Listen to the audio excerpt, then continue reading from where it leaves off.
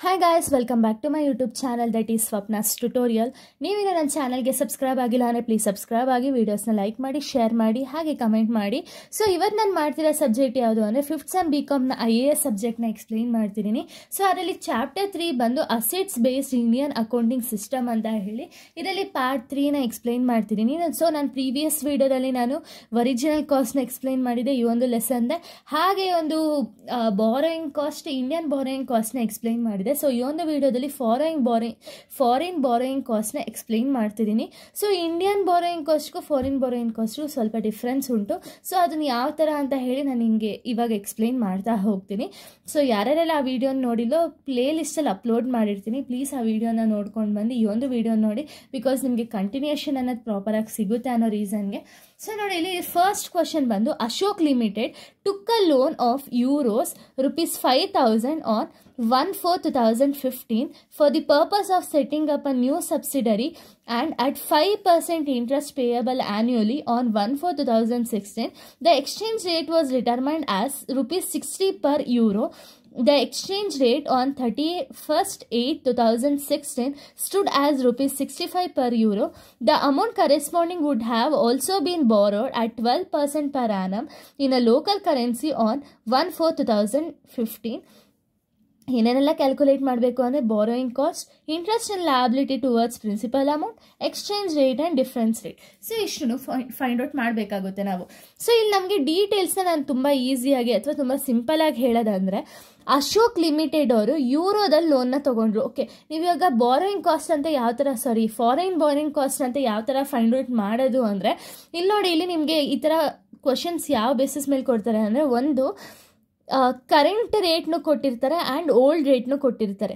Current value ಎಷ್ಟು old value ಎಷ್ಟು ಅಂತ ಹೇಳಿ ಕೊಟ್ಟಿರ್ತಾರೆ. ಅವಾಗಲೂ ನೀವು ಈ ಥರ ಫಾರಿನ್ ಬಾರಿನ್ ಕಾಸ್ಟ್ ಅಂತ ಹೇಳಿ ಫೈಂಡ್ ಔಟ್ ಮಾಡ್ಬೋದು. ಇಲ್ಲ ಅಂದರೆ ಅಮೌಂಟ್ ಬಂದು ಯೂರೋಸು ಅಥವಾ ಡಾಲರ್ಸು ಇಂಥ ಫಾರ್ಮಲ್ಲಿ ಕೊಟ್ಟಿದ್ರೆ ಅವಾಗೂ ಕೂಡ ಫಾರಿನ್ ಬಾರೋಯಿಂಗ್ ಕಾಸ್ಟ್ ಅಂತ ಹೇಳಿ ನಾವು ಕನ್ಸಿಡರ್ ಮಾಡ್ತೀವಿ.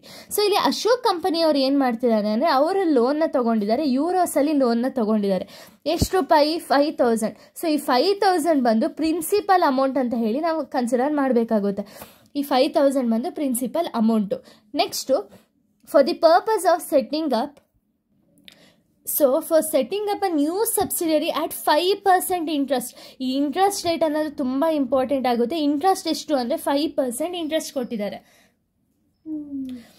Payable annually on one four two thousand ಸಿಕ್ಸ್ಟೀನಲ್ಲಿ five percent ಇಂಟ್ರೆಸ್ಟ್ನ ಪೇ ಮಾಡ್ತಿದ್ದಾರೆ.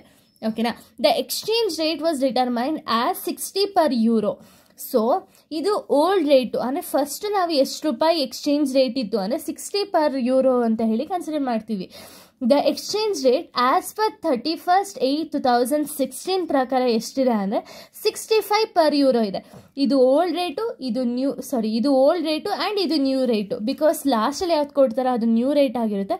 ಫಸ್ಟಲ್ಲಿ ಯಾವ್ದು ಕೊಡ್ತಾರೋ ಅದು ಓಲ್ಡ್ ರೇಟ್ ಆಗಿರುತ್ತೆ. ಪ್ರಿನ್ಸಿಪಲ್ ಅಮೌಂಟ್ ಸಿಕ್ಕಿದೆ ನಮಗೆ ಫೈವ್ ಪರ್ಸೆಂಟ್ ಇಂಟ್ರೆಸ್ಟ್ ಸಿಕ್ಕಿದೆ.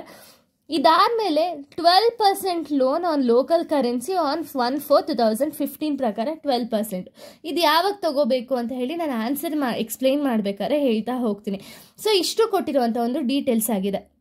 ಇಷ್ಟು ಕೊಟ್ಟಿರೋದು ಡೀಟೇಲ್ಸ್ ಕೊಟ್ಟಿದ್ದಾರೆ. ಸೊ ಇಲ್ಲಿ ನಾವು ಫಸ್ಟ್ ಏನು ಮಾಡಬೇಕು ಅಂದರೆ ಫಾರಿನ್ ಬಾರೋಯಿಂಗ್ ಕಾಸ್ಟ್ನ ಫೈಂಡ್ ಔಟ್ ಮಾಡಬೇಕು. ಇಲ್ಲಿ ಏನೇನೆಲ್ಲ ಫೈಂಡ್ ಔಟ್ ಮಾಡಬೇಕು ಅಂದರೆ ಸ್ವಲ್ಪ ಡೀಟೇಲ್ಸ್ನ ಕೊಡ್ತಾ ಹೋಗಿದ್ದಾರೆ.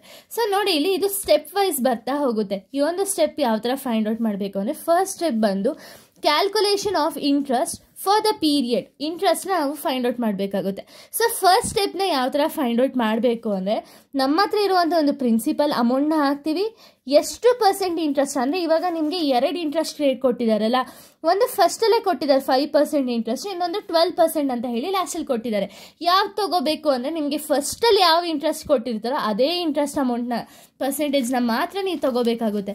ಸೊ ನೋಡಿ, ಇಲ್ಲಿ ಫೈವ್ ಪ five thousand rupees principal amount five percent ಬಂದು interest rate into market value ಅಥವಾ ನ್ಯೂ ವ್ಯಾಲ್ಯೂ ಏನಿದೆಯೋ ಅದನ್ನು ಇಂಟು ಮಾಡಬೇಕಾಗುತ್ತೆ. ಸೊ ನೋಡಿ, ಇಲ್ಲಿ ಇಲ್ಲಿ ಎರಡು ರೇಟ್ ಕೊಟ್ಟಿದ್ದಾರೆ. ಒಂದು ಸಿಕ್ಸ್ಟಿ ಇನ್ನೊಂದು ಟ್ವೆ ಸಿಕ್ಸ್ಟಿ ಫೈವ್ ಸಿಕ್ಸ್ಟಿ ಬಂದು ಓಲ್ಡ್ ರೇಟ್ ಅಂತ ಹೇಳಿ ನಾವು ಕನ್ಸಿಡರ್ ಮಾಡ್ತೀವಿ. ಸಿಕ್ಸ್ಟಿ ಫೈವ್ ಬಂದು ನ್ಯೂ ರೇಟ್ ಅಂತ ಹೇಳಿ ನಾವು ಕನ್ಸಿಡರ್ ಮಾಡ್ತೀವಲ್ಲ. ಸೊ ಇವಾಗ ನಾವು ನ್ಯೂ ರೇಟ್ ಬಂದು ಸಿಕ್ಸ್ಟಿ ಫೈವ್ ಅಲ್ವಾ? ಸೊ ಇಂಟು ಸಿಕ್ಸ್ಟಿ ಫೈವ್ ಮಾಡಿದಾಗ ನಮಗೆ ಫಸ್ಟ್ ಸ್ಟೆಪ್ ಆನ್ಸರ್ ಸಿಗುತ್ತೆ. ಎಷ್ಟು? Sixteen thousand two fifty rupees first step answer ಸಿಗುತ್ತೆ. ಇದಾದ್ಮೇಲೆ ನೀವು ಸೆಕೆಂಡ್ ಸ್ಟೆಪ್ನ ಯಾವ ಥರ ಕಂಡುಹಿಡಿಯೋದು ಅಂದರೆ ಸೆಕೆಂಡ್ ಸ್ಟೆಪ್ ಯಾವುದು ಅಂದರೆ increase in liabilities towards the principal amount ಎಷ್ಟು ಇನ್ಕ್ರೀಸ್ ಆಗಿದೆ ಅಂತ ಹೇಳಿ ಫೈಂಡ್ ಔಟ್ ಮಾಡಬೇಕು. ಫೈಂಡ್ ಔಟ್ ಮಾಡಬೇಕಾದ್ರೆ ನೀವೇನು ಮಾಡಬೇಕು ಅಂದರೆ first principal amount principal amount ಎಷ್ಟಿದೆ? Five thousand as it is ಬರೀತೀರಾ? Into difference ರೇಟ್ನ ತಗೋಬೇಕಾಗುತ್ತೆ. ಓಲ್ಡ್ ಮತ್ತು ನ್ಯೂಗಿರುವಂಥ ಒಂದು ಡಿಫ್ರೆನ್ಸು ಫಸ್ಟು ಓಲ್ಡ್ ರೇಟ್ ಬಂದು ಸಿಕ್ಸ್ಟಿ ನ್ಯೂ ರೇಟ್ ಬಂದು sixty five sixty minus sixty five ಮಾಡಿದಾಗ ಫೈವ್ ಬರುತ್ತಲ್ವಾ? ಫೈವ್ ತೌಸಂಡ್ ಇಂಟು ಫೈವ್ ಮಾಡಿದಾಗ ಟ್ವೆಂಟಿ ಫೈವ್ ತೌಸಂಡ್ ಬರುತ್ತೆ. ಇದು ಸೆಕೆಂಡ್ ಸ್ಟೆಪ್ ಆನ್ಸರ್ ಆಗಿದೆ. ಸೊ ಸೆಕೆಂಡ್ ಸ್ಟೆಪ್ ಇಷ್ಟೇ ಫೈಂಡ್ ಔಟ್ ಮಾಡೋದು.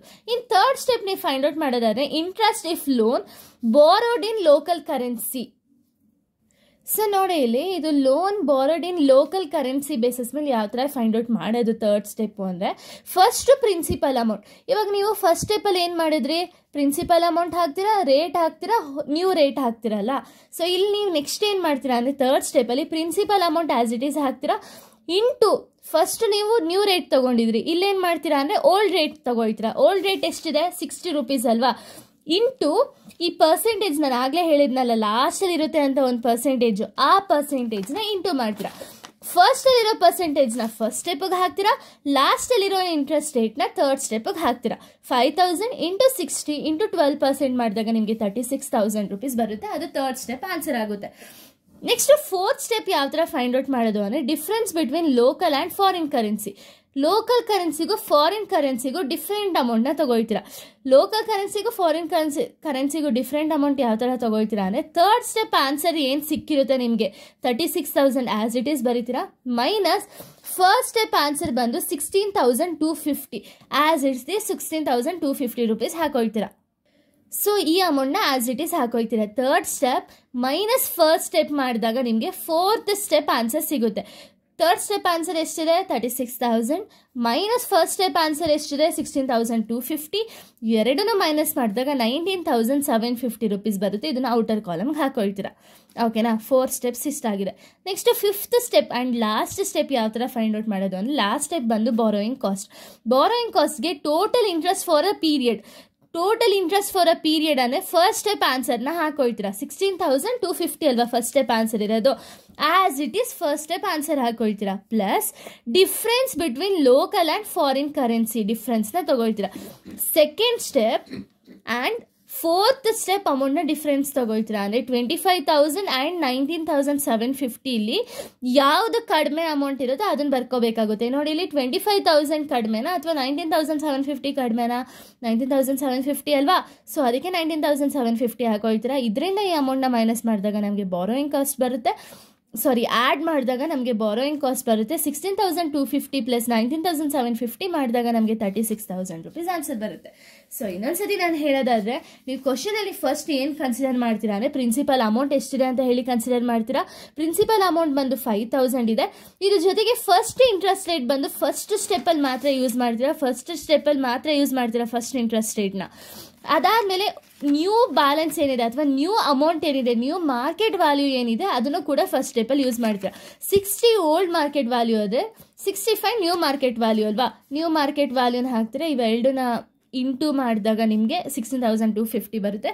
ಸೆಕೆಂಡ್ ಸ್ಟೆಪಲ್ಲಿ ಆ್ಯಸ್ ಇಟ್ ಈಸ್ ಪ್ರಿನ್ಸಿಪಲ್ ಅಮೌಂಟ್ನ ಹಾಕ್ತೀರಾ ಬಟ್ ಓಲ್ಡ್ ರೇಟು ಮತ್ತು ನ್ಯೂ ರೇಟ್ ಎರಡನ್ನೂ ಮೈನಸ್ ಮಾಡಿದಾಗ ನಿಮ್ಗೆ ಒಂದು ಅಮೌಂಟ್ ಬರುತ್ತಲ್ಲ, ಅದನ್ನು ಪ್ರಿನ್ಸಿಪಲ್ ಅಮೌಂಟ್ ಜೊತೆ ಇಂಟು ಮಾಡ್ತೀರಾ. ಆವಾಗ ನಿಮಗೆ ಸೆಕೆಂಡ್ ಸ್ಟೆಪ್ ಆನ್ಸರ್ ಸಿಗುತ್ತೆ. ನೆಕ್ಸ್ಟ್ ತರ್ಡ್ ಸ್ಟೆಪ್ ಯಾವ ಥರ ಅಂದರೆ ಇಂಟ್ರೆಸ್ಟ್ ಲೋನ್ನ ಫೈಂಡ್ ಔಟ್ ಮಾಡಬೇಕು ಅಂದರೆ as it is first principal ಅಮೌಂಟ್ನ ಹಾಕ್ತೀರಾ. ಇದ್ರ ಜೊತೆಗೆ ನೀವು ಫಸ್ಟ್ ಸ್ಟೆಪ್ಪಲ್ಲಿ ನೋಡೋದಾದರೆ ನೀವು ಮಾರ್ಕೆಟ್ ವ್ಯಾಲ್ಯೂ ಮತ್ತು ಫಸ್ಟ್ ಇಂಟ್ರೆಸ್ಟ್ ರೇಟ್ನ ತೊಗೊಂಡಿದ್ರಿ.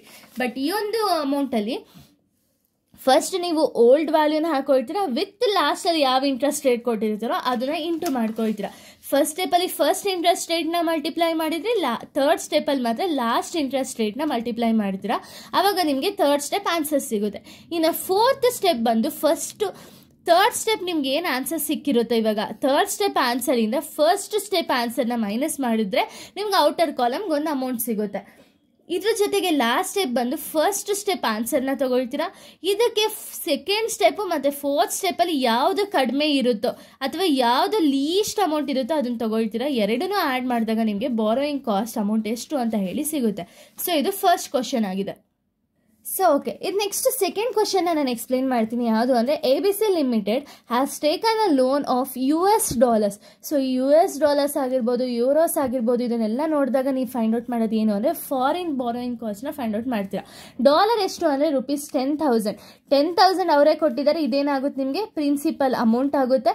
On one four two thousand sixteen for a specific project and at interest rate ಬಂದು ಫೈವ್ ಪರ್ಸೆಂಟ್ ಇದು ಫಸ್ಟ್ ಇಂಟ್ರೆಸ್ಟ್ ರೇಟ್ನ ನೀವು ಎಲ್ಲಿ ತೊಗೊಳ್ತೀರಾ ಅಂದರೆ ಫಸ್ಟ್ ಸ್ಟೆಪ್ಪಲ್ಲಿ ನೀವು ಕನ್ಸಿಡರ್ ಮಾಡಬೇಕಾಗುತ್ತೆ.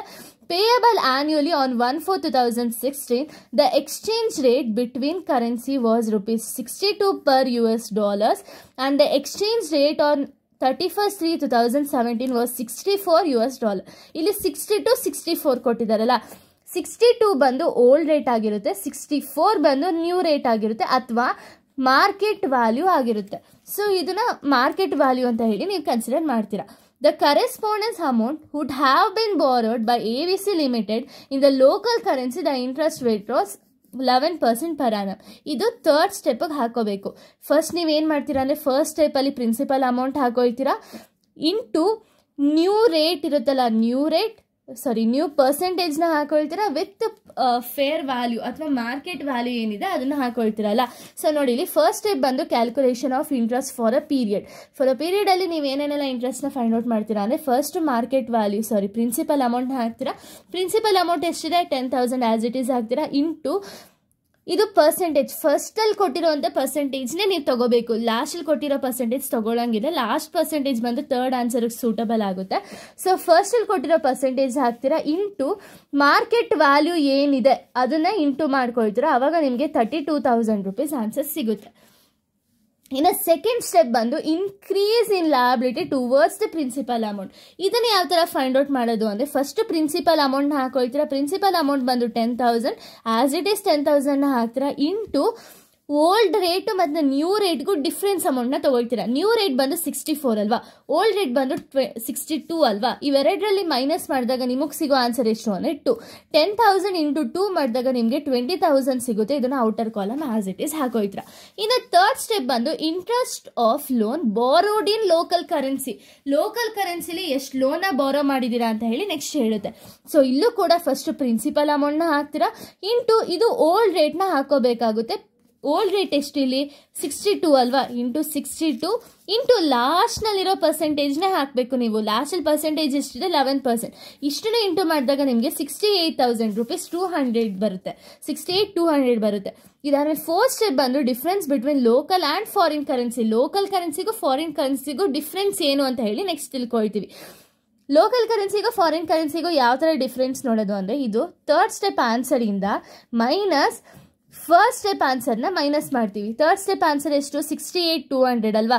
ಇದರಿಂದ ತರ್ಟಿ ಟೂ ತೌಸಂಡ್ನ ಮೈನಸ್ ಮಾಡಿದಾಗ ನಮಗೆ thirty six thousand two hundred rupees ಬರುತ್ತೆ. ಇದು fourth step answer next last step ಬಂದು ಬಾರೋಯಿಂಗ್ ಕಾಸ್ಟ್ ಬಾರೋಯಿಂಗ್ ಕಾಸ್ಟ್ನ ಯಾವ ಥರ ಫೈಂಡ್ ಔಟ್ ಮಾಡೋದು ಅಂದರೆ total interest for the period for the period ಎಷ್ಟಿದೆ ಇಂಟ್ರೆಸ್ಟು ಫಸ್ಟ್ ಸ್ಟೆಪ್ ಆನ್ಸರ್ ಎಷ್ಟಿದೆ? ಅಷ್ಟನ್ನು ಬರೀತೀರಾ. First step ಆನ್ಸರ್ನ plus difference between local and foreign currency local ಮತ್ತು ಫಾರಿನ್ ಕರೆನ್ಸಿಗೂ ಡಿಫ್ರೆನ್ಸ್ ಬರೀತೀರ? ಎಷ್ಟು ಯಾವುದು ಯಾವ ಥರ ತಗೋಬೇಕು ಅಂದರೆ ಈಗ ಸೆಕೆಂಡ್ ಸ್ಟೆಪ್ಪು ಮತ್ತು ಫೋರ್ತ್ ಸ್ಟೆಪ್ನ ಕಂಪೇರ್ ಮಾಡ್ತೀರಾ. ಇವೆರಡರಲ್ಲಿ ಯಾವುದು ಲೀಸ್ಟ್ ಅಮೌಂಟ್ ಇರುತ್ತೋ ಅದನ್ನು ಕನ್ಸಿಡರ್ ಮಾಡ್ತೀರಾ. ಸೆಕೆಂಡ್ ಸ್ಟೆಪ್ ಬಂದು ಟ್ವೆಂಟಿ ತೌಸಂಡು ಫೋರ್ತ್ ಸ್ಟೆಪ್ ಬಂದು ತರ್ಟಿ ಸಿಕ್ಸ್ ಟೂ ಹಂಡ್ರೆಡ್ ಇವೆರಡರಲ್ಲಿ ಕಡಿಮೆ ಯಾವುದು? ಟ್ವೆಂಟಿ ತೌಸಂಡ್ ಅಲ್ವಾ? So twenty thousand as it is ಬರೀತೀರಾ, ಇವಾಗ ಇವೆರಡೂ ಆ್ಯಡ್ ಮಾಡಿದಾಗ ನಿಮಗೆ ಫಿಫ್ಟಿ ಟೂ ತೌಸಂಡ್ ಬರುತ್ತೆ, ಇದು ಬಾರೋಯಿಂಗ್ ಕಾಸ್ಟ್ ಸೊ ನಿಮಗೆ ಫಾರಿನ್ ಕರೆನ್ಸಿ ಅಥವಾ ಫಾರಿನ್ ಬಾರಿಂಗ್ ಕಾಸ್ಟಲ್ಲಿ ಯಾವುದೇ ಥರ ಸಮ್ಸ್ ಕೊಟ್ಟಿರಲಿ, ನೀವು ಇದೇ ಫಾರ್ಮ್ಯಾಟ್ನ ಯೂಸ್ ಮಾಡಬೇಕಾಗುತ್ತೆ. ಸೊ ಫಸ್ಟ್ ನೀವು ಪ್ರಿನ್ಸಿಪಲ್ ಅಮೌಂಟ್ನ ತೊಗೊಳ್ತೀರಾ? ಪರ್ಸೆಂಟೇಜ್ ಅದು ಫಸ್ಟಲ್ಲಿರೋ ಪರ್ಸೆಂಟೇಜ್ನ ತೊಗೊಳ್ತೀರಾ? ಅದಾದಮೇಲೆ ನ್ಯೂ ರೇಟ್ ಏನಿದೆ, ಅದನ್ನು ತೊಗೊಳ್ತೀರಾ ಫಸ್ಟ್ ಸ್ಟೆಪ್ಗೆ ಸೆಕೆಂಡ್ ಸ್ಟೆಪ್ಗೆ ಪ್ರಿನ್ಸಿಪಲ್ ಅಮೌಂಟ್ನ ತೊಗೊಳ್ತೀರಾ? ನ್ಯೂ ರೇಟ್ಗೂ ಮತ್ತು ಓಲ್ಡ್ ರೇಟ್ಗೂ ಡಿಫ್ರೆನ್ಸ್ ಅಮೌಂಟ್ನ ತೊಗೊಳ್ತೀರಾ? ಸಿಕ್ಸ್ಟಿ ಟು ಮತ್ತು ಸಿಕ್ಸ್ಟಿ ಫೋರ್ ಅಲ್ವಾ? ಇವೆರಡು ಡಿಫ್ರೆನ್ಸ್ ಅಮೌಂಟ್ ಎಷ್ಟು ಬರುತ್ತೆ? ಟೂ ಅಲ್ವಾ? ಇಂಟು ಟೂ ಮಾಡ್ತೀರಾ. ಇನ್ನು ಥರ್ಡ್ ಸ್ಟೆಪ್ ಬಂದು same as it is principal ಅಮೌಂಟೇ ತೊಗೊಳ್ತೀರಾ? ಬಟ್ ಓಲ್ಡ್ ರೇಟ್ನ ತೊಗೊಳ್ತಿಲ್ಲ. ಓಲ್ಡ್ ರೇಟ್ ಬಂದು ಸಿಕ್ಸ್ಟಿ ಟು ಇಂಟು ಲಾಸ್ಟ್ನಲ್ಲಿ ಕೊಟ್ಟಿರ್ತಾರಲ್ಲ ಪರ್ಸೆಂಟೇಜ್ ಆ ಪರ್ಸೆಂಟೇಜ್ನ ಇಂಟು ಮಾಡ್ತೀರ. ಆವಾಗ ನಿಮಗೆ ಥರ್ಡ್ ಸ್ಟೆಪ್ ಸಿಗುತ್ತೆ. ಇನ್ನು ಫೋರ್ತ್ ಸ್ಟೆಪ್ ಬಂದು ಲೋಕಲ್ ಕರೆನ್ಸಿಗೂ ಮತ್ತು ಫಾರಿನ್ ಕರೆನ್ಸಿಗೂ ಡಿಫ್ರೆನ್ಸ್ ಯಾವ ಥರ ತೊಗೊಳ್ತೀರಾ ಅಂದರೆ ನಿಮಗೆ ಥರ್ಡ್ ಸ್ಟೆಪ್ ಆನ್ಸರ್ ಏನು ಬಂದಿರುತ್ತೋ, ಅದರಲ್ಲಿ ಫಸ್ಟ್ ಸ್ಟೆಪ್ ಆನ್ಸರ್ನ ಮೈನಸ್ ಮಾಡ್ತೀರಾ. ಆವಾಗ ನಿಮಗೆ ಫೋರ್ತ್ ಸ್ಟೆಪ್ ಆನ್ಸರ್ ಸಿಗುತ್ತೆ. ಇನ್ನು ಲಾಸ್ಟ್ ಸ್ಟೆಪ್ ಯಾವ ಥರ ಮಾಡ್ತೀರಾ ಅಂದರೆ ಟೋಟಲ್ ಇಂಟ್ರೆಸ್ಟು ಫಸ್ಟ್ ಸ್ಟೆಪ್ಪಲ್ಲಿ ನಿಮ್ಗೆ ಏನು ಆನ್ಸರ್ ಸಿಕ್ಕಿರುತ್ತೋ ಆ ಸ್ಟೆಪ್ಗೆ difference between local and foreign ಕರೆನ್ಸಿನ add ಮಾಡ್ತೀರಾ? Second and fourth step difference ತಗೋಯ್ತೀರಾ ಅವೆರಡರಲ್ಲಿ ಯಾವ್ದು ಕಡಿಮೆ ಇರುತ್ತೋ ಅದನ್ನು ಹಾಕ್ತೀರಾ ಆಸ್ ಇಟ್ ಈಸ್ ಇವೆರಡನ್ನೂ ಆ್ಯಡ್ ಮಾಡಿದಾಗ ನಿಮಗೆ ಬಾರೋಯಿಂಗ್ ಕಾಸ್ಟ್ ಅಮೌಂಟ್ ಎಷ್ಟು ಅಂತ ಹೇಳಿ ಸಿಗುತ್ತೆ. ಸೊ ಇಷ್ಟು ಕೂಡ ಈ ಪ್ರಾಬ್ಲಮ್ಸ್ ಎಲ್ಲ ಯಾವ ರಿಲೇಟೆಡು ಅಂದರೆ ಫಾರಿನ್ ಬಾರೋಯಿಂಗ್ ಕಾಸ್ಟ್ ರಿಲೇಟೆಡ್ ಈ ಪ್ರಾಬ್ಲಮ್ಸ್ ಆಗಿದೆ. ಸೊ ನಾನು ನೆಕ್ಸ್ಟ್ ವಿಡಿಯೋದಲ್ಲಿ ನಾನು ಬೇರೆ ಒಂದು ಚಾಪ್ಟರ್ನ ಎಕ್ಸ್ಪ್ಲೈನ್ ಮಾಡ್ತೀನಿ. So thank you guys thanks for watching